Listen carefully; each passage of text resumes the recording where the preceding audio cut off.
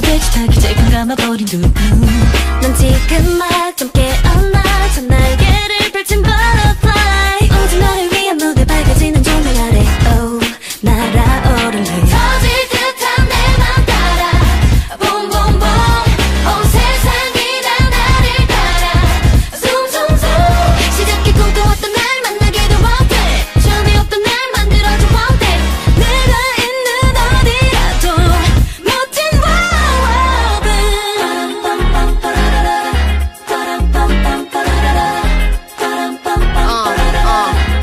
야 멋진 멋진 일이 생길 것만 같아 여기저기 이제 내 이름을 찾아볼 수 있을 것 같아. 어리 조금처럼 말야 0.2도 내 꿈에 노력이란 하나를 더 하고. 그저 그냥 영화던 생각은 이제 현실이 돼 영원해졌다고.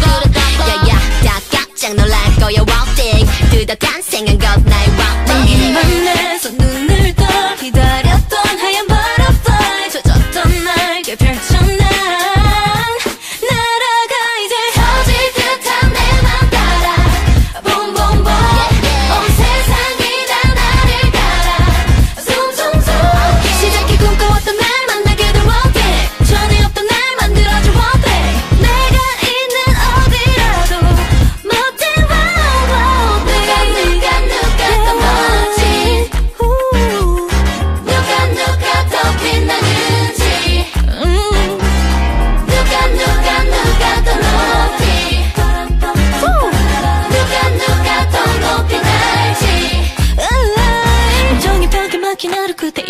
막이 올라 시켜보니 영시영 명분 두근대는 마음이 홀린 듯이 이끌림 눈부신 wow